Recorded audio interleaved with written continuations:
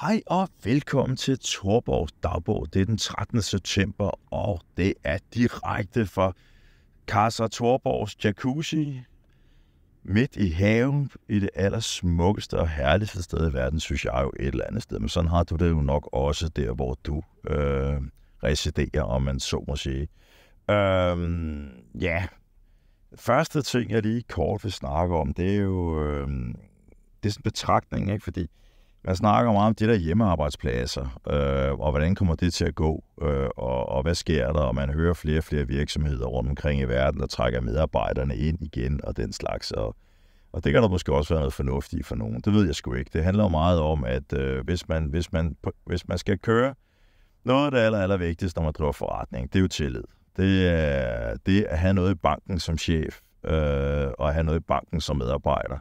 Altså, man gør lidt mere øh, end man egentlig måske øh, burde gøre. Og det synes jeg både, man skal gøre som, som, øh, som chef, og det synes jeg bestemt også, man skal gøre som medarbejder. For på den måde, så opstår der et forhold, hvor man... Øh, hvor tingene går meget, meget lettere. Det bliver mere smidigt og fleksibelt, og øh, man har som sagt noget i banken hos hinanden.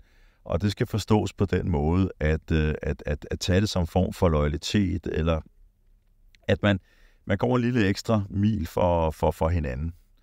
Og øh, det kan jo både betyde, altså hvis jeg for eksempel har gjort noget ekstra som chef, og ekstra flink og alt muligt andet, og lige pludselig står jeg med et problem, jamen så er der mange medarbejdere, der vil springe til og sige, hvor der hvad, den napper jeg, selvom jeg egentlig har fri, eller jeg egentlig ikke har tid, eller alt muligt andet. Øh, og på samme måde er der jo så, når medarbejderne kommer og siger, hej, hvor der hvad, jeg har simpelthen et problem, jeg, øh, jeg bla bla bla, et eller andet andet, og så står man som chef og siger, hvor der hvad, det, jeg kan sgu godt låne dig lidt penge, eller hvor der selvfølgelig får du fri, og så videre, og så videre. På den måde, øh, er jo bare en fantastisk måde at, at, at, at ikke bare drive sin virksomhed på, men også drives øh, alle forhold i livet på. Gør lidt lidt ekstra, øh, sådan så at man, øh, har, man har lidt i banken øh, alle, alle steder. Og øh, pointen i forhold til det, det er jo, at øh, hvis man har en masse i banken som chef, og står et tillidsforhold til sine medarbejdere, jamen så er der ingen problemer med hjemmearbejde overhovedet, fordi så sidder medarbejderne selvfølgelig øh, også arbejder derhjemme. Og nej, jeg er da flindrende ligeglad, om de går i Netto og køber ind, eller går til frisøren, i, øh, i, i, i, når de er derhjemme. Fordi det der, det handler om, det er at levere en indsats. Og basalt set kan man sige, at hele konstellationen 37 timer om ugen jo egentlig er utrolig primitiv. Øh, fordi det er jo, hvorfor har man den? Det er jo fordi, det er noget, man kan måle. Og enhver, som har prøvet at, at hyre en håndværker eller en freelancer, kan se, ikke, jamen, du kan hyre en håndværker, der kan komme to malere, ikke, øh, og det her skal 400 eller 500 kroner i timen begge to. Øh, og den ene kan male et rum på den halve side af den anden, øh, men de bliver betalt det samme.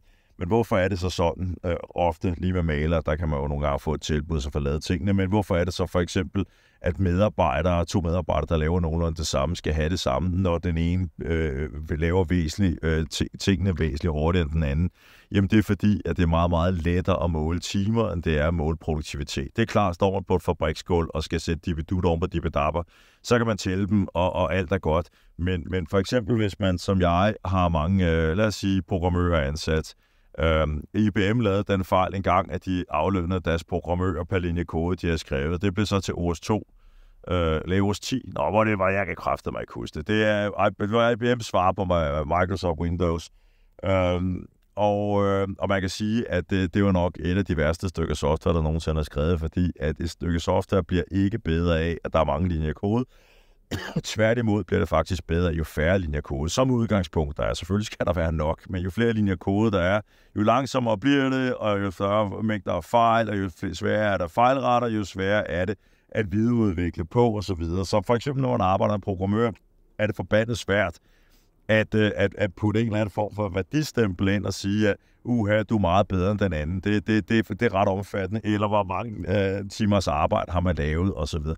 Så, så når, altså hvis man arbejder hjemmefra. Så derfor kan, øh, kan dove arbejdsgiver, og arbejdsgiver, der ikke er noget banken godt lide, at folk sidder der, de, så kan man tælle, hvor mange timer de har været der, Øh, og mens det ideelle vil jo et eller andet sted være at sige, hvor meget nytte har du gjort i virksomheden? Når kunne programmør gøre øh, fantastisk nytte på 10 timer om ugen, hvorfor i alverden skulle den person have mindre i løn?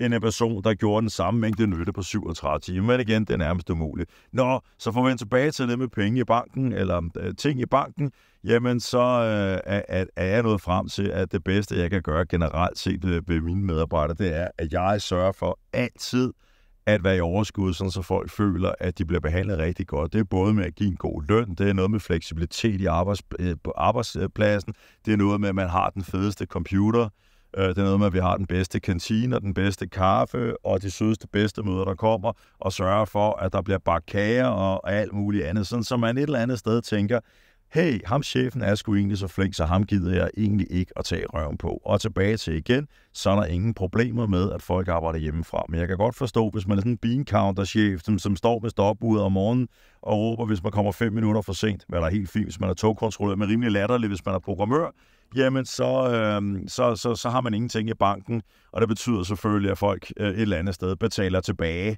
øh, med nøje, den, nøjeregn, den nøjeregnhed, der er ved at, øh, at, at, at, øh, at, at enten være meget firkantet omkring arbejdstider, eller måske endda gå så langt som til at sige, at jeg arbejder halvtid. I USA er der en øh, tendens i øjeblikket, og der må jeg også sige som udgangspunkt, vil jeg sige, at amerikanske arbejdsgiver er ikke ligefrem dem, som normalt har særlig meget i banken. I Florida for eksempel, når man fyrer folk, så kan man sige, at du er fyret øh, for no fucking reason, og så har folk 14 dages løn, og så kan de pisse af. Og så giver det lidt sig selv, at der ikke er meget loyalitet øh, den, den, den, den, den anden vej for at... Øh, og, og, og, og, og sådan er det et eller andet sted. Nu kommer jeg ud af en eller anden tangent, som jeg simpelthen ikke kan finde tilbage i, fordi jeg simpelthen væver rundt og sådan noget. Så hvis jeg lige har tabt pointen, eller et eller andet andet, så, øh, så, så må du undskylde for helvede. Der er så lunt og dejligt her i, i det varme vand, så, så kan man jo godt få, få øh, tabt øh, tråden øh, en, en, en anelse en gang imellem. Men altså, pointen i hvert fald for mit vedkommende, det er jo, at de niver, der har lagt masser i banken, og derfor kan jeg, kan jeg, kan jeg stole på folk. Øhm, og, og derfor så kan de få lov til, lov til at arbejde hjemme så meget, som de hovedet har lyst til. Men jeg kan godt afsløre, at øh, det øh, er der mange andre, der ikke kan, og det kan jeg jo simpelthen aflæse ved, at øh, jeg kan se ude på motorvejen, at der jo faktisk ved at våge påstå næsten flere biler, end øh, der var øh, før corona. Øh, og det er selvfølgelig ikke kun, fordi alle skal ind på arbejdspladser, men det lader i hvert fald til, at de er nærmest lige så meget ind på arbejdspladserne som før. Men man kan selvfølgelig også tage det som ordentligt et tegn på, at vi aldrig har været rigere i det her land. Der er simpelthen, jeg, kan ikke, altså jeg, har ikke, jeg har ikke lige set statistikken, men jeg vil tro, at den viser, at der aldrig nogensinde har været flere personbiler i Danmark, end der er nu. Shit, hvor er der mange. I går, der kørte jeg med min datter. Hun er hun skulle på ledelseskursus, hun har fået det fedeste job i Let Sushi, der har jeg måske fortalt om, det kan jeg sgu ikke huske. Men hun skulle på lederkursus hele dagen, og det var så heldigt, så det var ude i Valby, lige ved siden af der, hvor Dineo ligger, ikke, som ligger i Carlsbergbyen, så vi kørte sammen skide hyggeligt. Øh, og det tog lige akkurat en time at køre fra Skodsborg øh, til, øh, til Valby. Og det er, ja, det tror jeg faktisk aldrig, jeg har prøvet før. Altså, jeg tror, at rekorden har været 50 minutter. Så den er en 5-10 minutter længere end, øh, end det. Så, øh, så jeg har to konklusioner. Vi har aldrig været rigere, og at folk kan komme tilbage på arbejde. Og jeg må faktisk også indrømme, at når jeg sidder og kigger ind i din EU, er der faktisk rigtig, rigtig mange, der er på arbejde i øjeblikket. Det er bestemt ikke, fordi de skal. Øh, jeg tror simpelthen, at, øh, at, at folk er ved at vende lidt tilbage til, at de godt kan lide øh, at være sammen med andre mennesker. Øh, så, så Altså alt det der digitale nomade og muligt andet, det, det, det tror jeg faktisk, vi vil se, er noget, som er lidt nichepræget. Altså efter corona, øh, mig selv inklusiv, øh, tror jeg, at vi havde den der med, at, øh, at øh, puha, man vil arbejde hjemme rigtig, rigtig meget. Øh, og jeg tror også, vi gør det mere end før corona. Det er simpelthen slet ikke det. Men jeg tror, der er nogle folk, der tænkte, at jeg vil komme til at være på arbejde to dage om ugen, og så vil jeg være hjemme tre dage om ugen. Jeg tror simpelthen bare, at øh, vi er nået lidt dertil, hvor at, at, at folk er kommet til det der med at komme ind på arbejdspladsen og sige godmorgen til kollegaerne og, og brainstorme med dem og få noget, altså få noget, øh, noget kærlighed og noget feedback og, og, og, og, og, og sætte barnet lidt højere, når man møder nogle dygtigere kollegaer, end man, man selv er. Kom ind og smage den gode kaffe og den gode frokost og få en lille pep-talk af chefen og kærlig, et, et, et, et, et, et, et, et kærligt high five og sådan noget lignende, det betyder bare mere for folk, end, end, end, end man, man, man, man tænker. Øh, og vi er, mennesker er sociale øh, individer, og det er jo også derfor, at vi går stadig går i biografen til koncerter og alt muligt andet. I'm sorry to say, lyden til en koncert er ofte væsentligt ringere end et, et par fede hovedtelefoner derhjemme. Øh, Øh, når du sidder øh, foran dit fede fjernsyn på øh, 60 tommer, så er skærmen sgu større end de fleste biografer i forhold til, hvor du sidder øh, til, og mange har surround sound og eller fede hovedtelefoner og alt muligt andet. Så, så alle både biograferne stod dengang, at, øh, at man sådan, at tv'et kom, og, og, og film begyndte at blive streamet, og, og alt muligt andet. Og jeg ser ikke noget tegn på, at biograferne er, er, er ved at dø. Øh, Øh, og en anden observation, hvis jeg skal tage den på den måde, og det tror jeg faktisk altså, er en vigtig observation i forhold til også, hvordan den menneskelige psykologi er. Ikke? Jeg tror selv, du godt kan huske på det tidspunkt, det efter corona der, hvor alle rendte rundt og sagde, ja, men fra nu af, så vil forretningsrejser og alle mulige rejser stoppe, og, og folk vil være meget mere på Zoom-møder, og folk kommer ikke til at gå i biografen på samme måde, og, og, og koncerter, og hele verden er ændret. Der må jeg indrømme, at øh, det ved jeg ikke, om du kan huske, men der, der talte jeg imod og sagde, prøv at høre her, mennesket har en meget kort hukommelse, og mennesket er meget, meget, meget social. Jeg tror ikke en skid på det der. Det kan godt være med forretningsrejserne, der bliver færre af dem, og det er der sikkert også blevet. Men jeg ved ikke, om du har været i Kastrup Lufthavn for nylig. Jeg er der næsten hver uge, fordi enten skal jeg til Bornholm sammen med, med, med, med min dejlige kone, eller også skal jeg lige en tur til Frankrig, fordi jeg er ved at købe en lejlighed. Øh, eller også skal jeg til Norge og, og besøge Visma eller et eller andet andet. Så jeg siger, ah, hver 14. dag er jeg i Kastrup Lufthavn.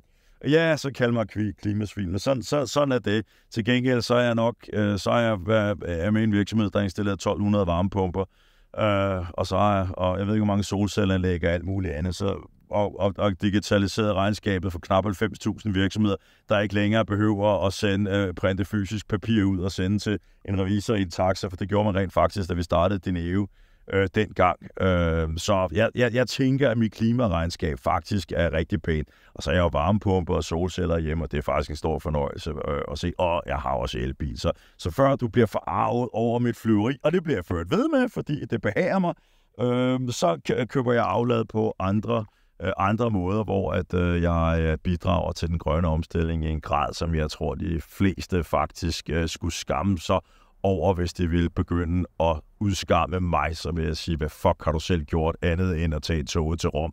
Big fucking thank you for nothing.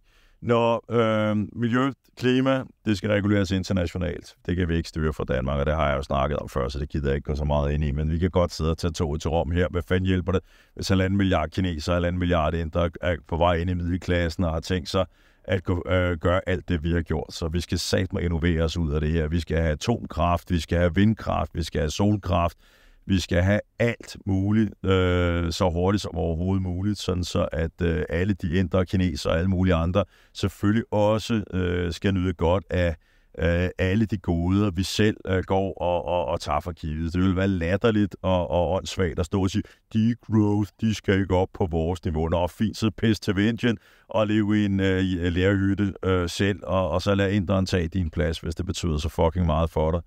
Øhm, ja, nå, men, øh, men, men, men, men, men nok, øh, nok om, om, om alt det, det, det rambling der. Nå, der tabte jeg sikkert tråden igen, men det, øh, så skriv til mig, hvis jeg, hvis jeg missede pointen i et eller andet, jeg er i gang med at skrive, fordi jeg, jeg er ved at være gammel og grå, så jeg, og jeg kører ud af, af alt muligt. Nå, men med det er egentlig var dagens hovedtema, som jeg ikke har snakket så meget om endnu. Øh, ja, jeg fortsætter lidt med AI, og hvis du er træt af at høre øh, om AI øh, hjemme så, så luk du bare pænt ned, men ja, så vil jeg også våge at påstå, at at, at, at så ser du måske en lidt besværlig fremtid i møde. Selvfølgelig kan du sætte dig ud og sidde i en skov eller et eller andet den stil, øh, leve af de bær, du finder. Og fred være med det, hvis det er den, du er. Hvis det, det, hvis det, hvis det, hvis det er det, du synes er fedt. Øh, men hvis ikke, så, øh, så, så, så sker der ting og sager. Og øh, i det sidste afsnit, så snakker jeg jo en del om øh, Teslas FSD, altså øh, deres, øh, deres selvkørende algoritme. Og det der faktisk er, det kan jeg ikke huske, om jeg snakkede om, jeg kan først ikke huske særlig meget, det er jo egentlig, at det, der egentlig er det mest revolutionerende i alt det der, det er jo faktisk, at Tesla har brugt 10 år på at lave en, en selvkørende algoritme, der vel kunne køre 99 procent af tiden.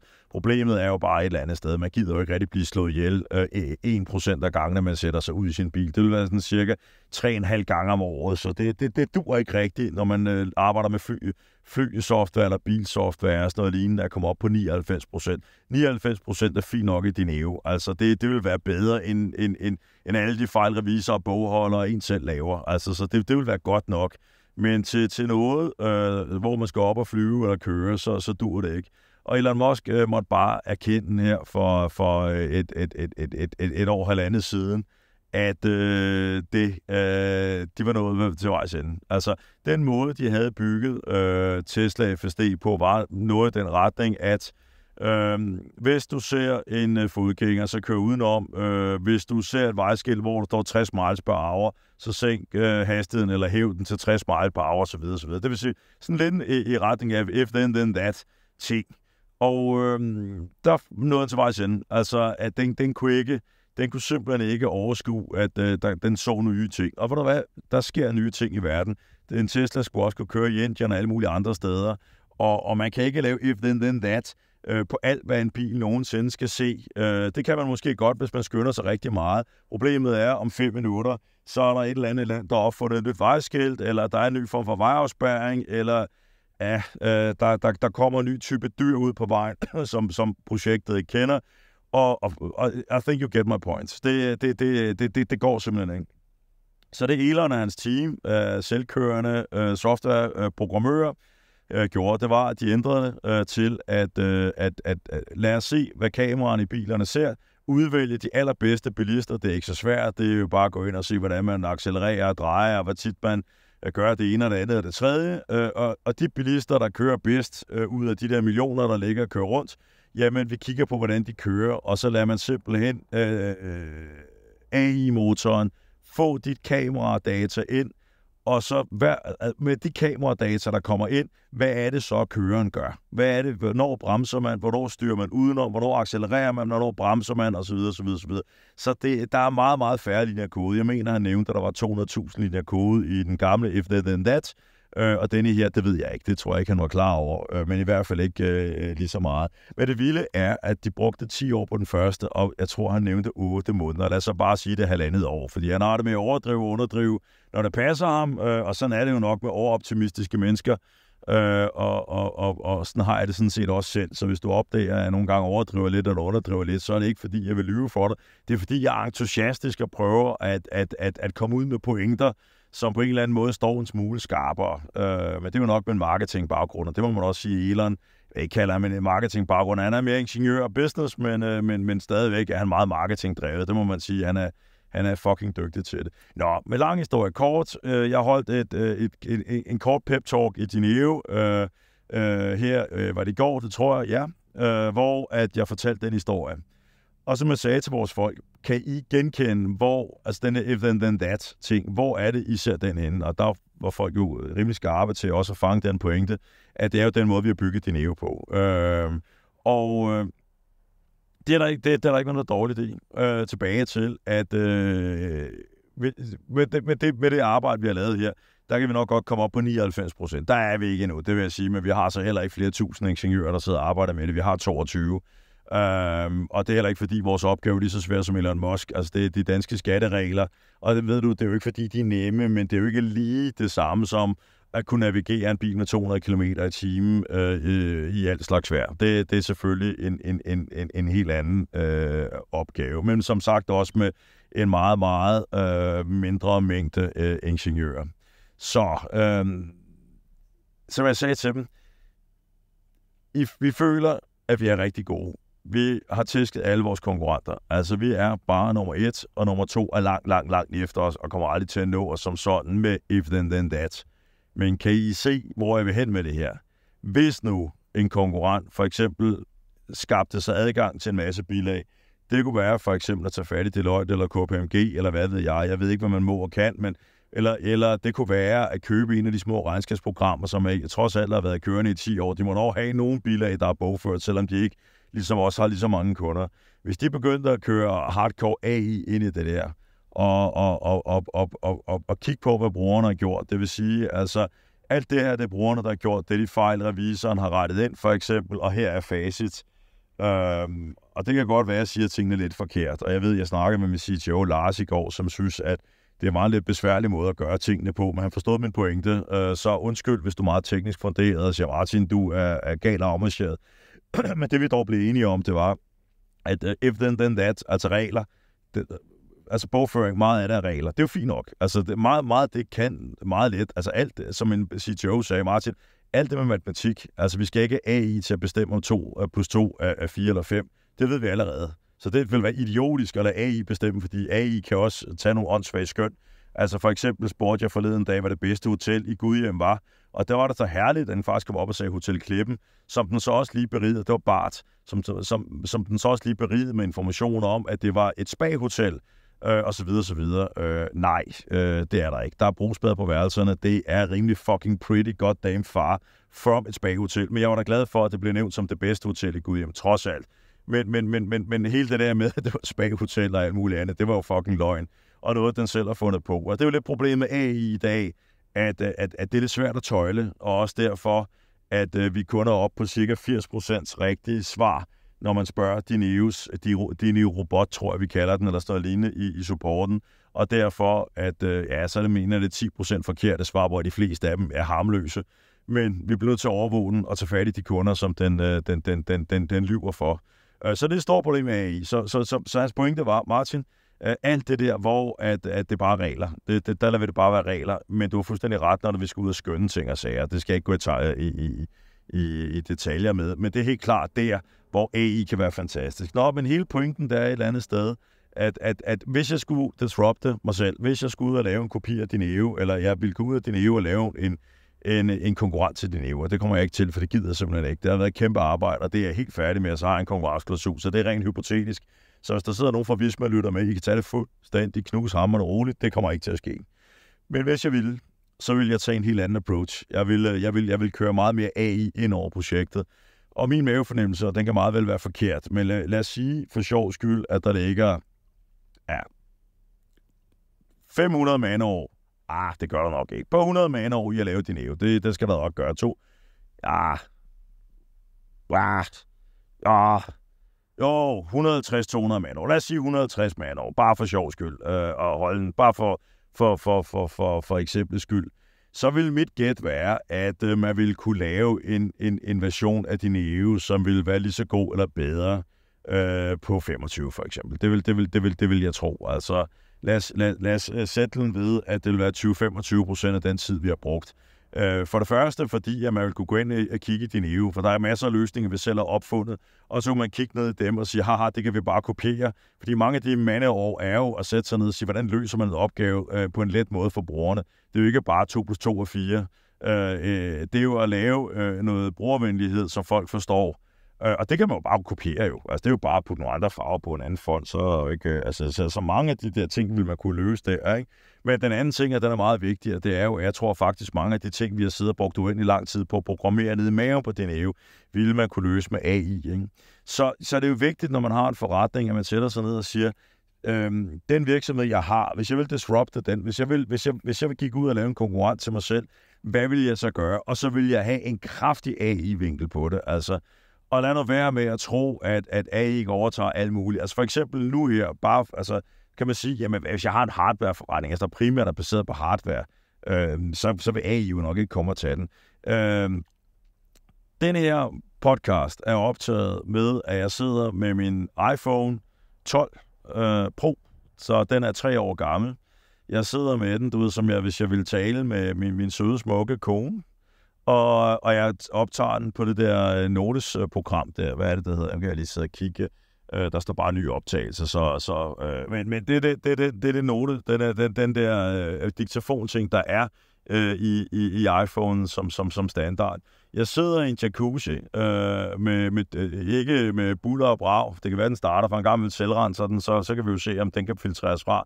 Men øh, der sidder elektriske motor. Jeg har strandvejen kørende i baggrunden. Der er, lige nu der er en bil, der gasser om. Det kan være, du svært kan høre den. Hvis ikke, ja, så er det meget cool. Der er måger, der er fugle. Øh, min nabo kørte lige forbi for et øjeblik siden. Øh, jeg kan høre min datter inde i køkkenet skramle med, med at lave sin egen morgenmad. Og så videre, så videre, så videre.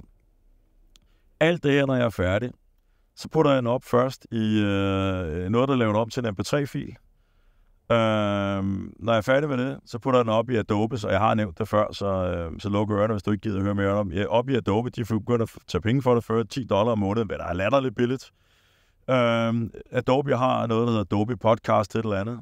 Jeg putter den op i den, og øh, den fjerner, øh, for det første, så øh, enhancer den, altså forbedrer den min stemme. Det næste, den gør, det er, at den lytter efter alt udkommende i forhold til en stemme, og det vil sige billyd, fugle, brum, alt muligt andet fjerner det der. Øhm, jeg har lavet øh, hardcore folk, der arbejder med lyd, lytte til min podcast, og når jeg fortæller, hvordan jeg har optaget den her, så er de fuldstændig en æve over det. Det er ikke fordi, de sikkert ikke kunne gøre det en smule bedre, men jeg tror også, du vil indrømme, når du hører det her, Æh, gad du betale et eller andet beløb for at gjort den bedre? Ja, så kan det være, at du vil betale for, at jeg fattede mig i kort tid, eller, eller, eller, eller et eller andet andet. Men vil du virkelig... Altså, vil, vil, og, og der må du meget gerne skrive til mig på martinsnabelag.torborg.dk. Altså, og nu kører der en uh, stor øh, skraldbil forbi, faktisk. Det ved jeg ikke, om du har hørt. Ja. Prøv nu starter jeg telefonen op. Nu står den i gang med at tømme skraldspand. Måske kan du lige høre den svagt, og hvis ikke, ja, så er det rimelig godt dame øh, vildt. Men hvorom alting er, det tool laver simpelthen laver min jacuzzi om til et fucking lydstudie.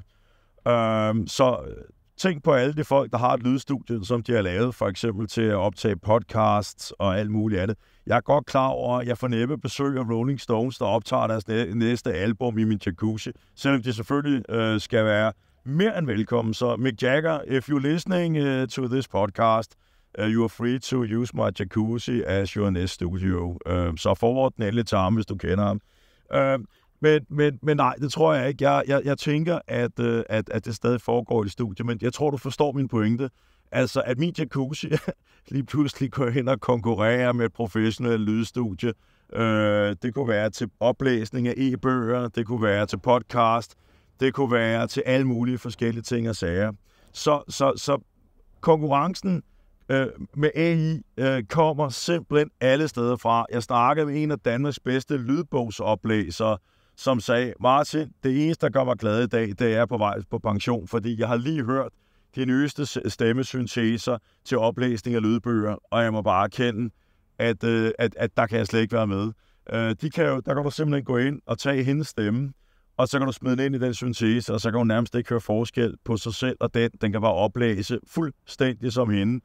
Og det er klart, altså som jeg sagde til hende, jo jo, men altså, det er, at, at, at, at der er jo, det, og det var ikke Iben Jejle, øh, skal der til sige. Nu tænker jeg bare på hende lige, fordi hende mødte jeg, da jeg selv optog min egen e-bog. Øh, men, øh, men, men, men, men man kan sige, at som jeg sagde til hende, som ikke var Iben Jejle, at lad os nu antage, at øh, folk rigtig gerne vil have, at det er Iben Jejle, der læser det op. Øh, som hun siger, jamen, Iben Jejle kan sådan set, øh, for det første, gav videre, at folk vil betale 20 kroner mere for at høre en lydbog øh, oplæst af Iben Nogen vil, nogen vil ikke. Øh, og den anden ting vil være, at øh, lydbogsstudiet kunne tage fat i Iben Jejle og sige, i stedet for at du bruger 12 timer på at indlæse en lydbog, og det er sådan cirka det tager med fejl og pauser og så videre, Øh, hvad siger du til i stedet for, fordi jeg ved, at Iben Jarle hørte jeg ude i byen for cirka 20.000 kroner for at oplæse en lydbog. Hvad siger du til, at øh, du får 2.000 kroner per lydbog, der bliver udgivet øh, med din stemme, men du skal ingenting gøre overhovedet? Uh, til gengæld så bliver der oplæst dobbelt så mange lydbøger med dig, så du får uh, selvfølgelig ikke helt det samme, som du gjorde før. Til gengæld kan du rejse til, uh, til, til, til, til, til Goa og sidde og fede den der og lave absolut ingenting, uh, mens du får uh, 2 eller 4 eller 5.000 kroner per lydbog, der bliver oplæst uh, i, med, med, med, med, med din stemme. Så lang historie kort. Altså kreative mennesker for eksempel, øh, som oplæser for eksempel lydbøger, er også øh, nogle af dem, der, der, der, der, der vil gro en, en besværlig tid møder. Som hende, øh, oplæseren sagde, det gode er de sidste par år her, der vil jeg bruge min tid på teater. Øh, og det bliver sgu nok lidt svært at, at enhance med AI, og det er fuldstændig korrekt. Altså, øh, det det, det, det. Og det er jo også derfor, at man skal tænke over. Altså, der er lige for eksempel nu her købt Capino og Saxis, øh, forleden, ikke? Jamen, det er, jo, det, er jo, det er jo services, altså Capino, det er der, hvor man finder kapital til sin virksomhed, eller en investering, man gerne vil lave, og Saxis er der, hvor man køber eller sælger små og mellemstore virksomheder. Øhm, dem købte jeg tilbage. Jeg ejede del af dem før, men nu er det øh, næsten 100% mine, sammen med kone øh, for it. Øh, jamen, hvorfor købte jeg dem tilbage? Fordi jeg tænker, det tror jeg ikke bliver disrupted. Altså, jeg, jeg, jeg kan ikke se, hvordan AI bare lige skal gå ind og disrupte en, en handelsplads, for eksempel. Det betyder ikke, at jeg kan enhance det, man kan forestille sig, at det bliver lettere at øh, beskrive sin virksomhed, for eksempel med AI og alt muligt andet, men Øh, og jeg kan sagtens forestille mig, at Facebook Marketplace kommer til at indeholde noget af det. Og det kan også godt være, at, at der kommer noget der. Men jeg tror bare stadig altid, altså jeg kan ikke se, hvordan AI bare lige pludselig skulle gå ind og, og, og disrupte en, en markedsplads på den måde. Det kan være, at det er fordi min fantasi er for dårlig. Men det tror jeg, det, det tror jeg ikke. Jeg tror i hvert fald, at inden, når den tid kommer, altså bare sige om tre eller fem år i givet fald, der kommer noget, jeg simpelthen ikke havde forudset, ja, så har jeg tjent en penge hjem igen flere gange. Øh, så, og så må jeg jo leve med det, og så har det bare været en fin investering med, med, med, med, med, med, med, med, med, med 100 kroner ind og 300 kroner igen på tre år. Og det, er, det, og det har jeg da sådan set øh, ganske, ganske fint med. Men jeg tror faktisk også, at det er, er handelspladser, som kan følge med og, og, og gøre en forskel og være profitable de næste 10-15 øh, år. Så, så, så min pointe, tror jeg sådan lidt, taler, det er pointen her i dagens øh, podcast, det er, prøv nu lige at kigge på din egen virksomhed, og lad nu være med at have den der automatreaktion, som de fleste har, når man siger, bliver du disrupted øh, inden for det næste stykke tid af, af cloud eller, eller AI, og sige, er man i min branche, der... Nej, prøv nu at være ærlig. Prøv nu at gå ind og kigge på og se. Altså, lige nu, der ser vi, hvordan, altså, øh, hvordan at, at, at øh, et meget sjovt eksempel øh, i Amalo, øh, den virksomhed, jeg investerede i, der sælger varmepumper, og tak fordi du spurgte, det går faktisk pis godt lige i øjeblikket. Det er der lige før øh, puljen er startet. Folk er virkelig begyndt at købe varmepumper igen. Nu er der lige pludselig syv nu begynder gaspriserne og oliepriserne lige pludselig eksplodere. Ja, elpriserne gør også, men nu skal I bare huske, at en varmepumpe er fem gange så effektiv, så du får fem gange så meget varme ud af en varmepumpe, som du gør på et gasfyr. Så når priserne stiger, og priserne med el og gas og olie føles nogenlunde ad, som regel i hvert fald, øhm, så når det bliver dobbelt så dyrt at købe gas, så bliver det også dobbelt så dyrt cirka at købe el, til gengæld så får du fem gange så meget varme ud. Nå, pointen var ikke så meget en reklameindslag. Så det kan man sige, hey, det var en reklameindslag. Nej, øhm, øh, en, en meget cool ting, da Rasmus, direktøren for Marlo, han havde lavet en reklametekst for Amado, så bad han ChatGPT om at øh, forbedre den øh, og fortælle, hvad det var, den havde gjort. Og jeg så før og efter, og der må jeg altså sige, undskyld Rasmus, ChatGPT gjorde bedre reklametekster end dig. Det var faktisk sådan,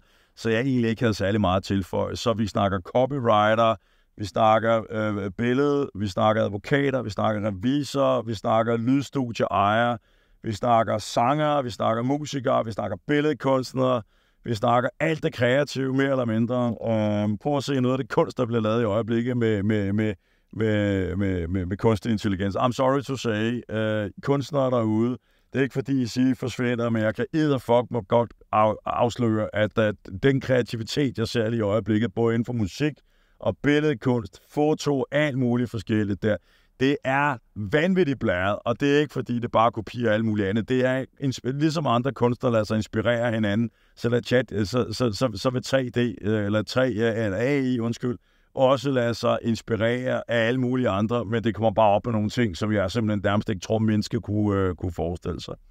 Så der sker ting og sager derude, og hvordan vil det hele gå? Jeg har ingen engelse, men kig nu på din egen forretning og sig, hvad nu hvis en konkurrent gik ind hardcore med AI og, og gik ind og tog øh, en del af din forretning. Og nej, de behøver ikke at være 100% lige så gode som dig. De kan måske bare være 80% lige så gode som dig, men til, en, til, til 25% af prisen. Tænk lige den igennem. Øhm, og så gør man selv den tjeneste, og dig selv den tjeneste, at gå ind og disrupte sig selv, disrupte dig selv, ligesom Elon Musk gjorde her, hvor han byggede den nye øh, Tesla FSD på angiveligt øh, 8 måneder. Hvis du ikke gør det, så kan jeg fucking love dig for, at der er to iværksættere i en kælder, der gør det for dig. Kan du have en fantastisk dag. Hej.